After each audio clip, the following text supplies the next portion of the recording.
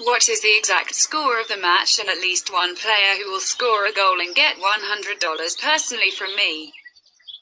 Leave the answers in the comments. Subscribing to the channel and liking the video are also required. We register by reference in the attached comment. Enter the promotional code. We get an advance rate on your account. After failing to put an end to Juve's dominance in the Serie A, Inter will be looking to give fans some cheer when they take on Getafe in the Europa League last 16, first leg. The Nerazzurri aim to get their job done in the first leg, and we are positive that they will go all guns blazing at Los Azulones. A man to keep an eye on in the home team will be Romelu Lukaku, who is likely to prove a handful for the opposition defenders. Getafe, on the other hand, failed to impress in the La Liga season finale, with the team missing out on a place in the Europa League.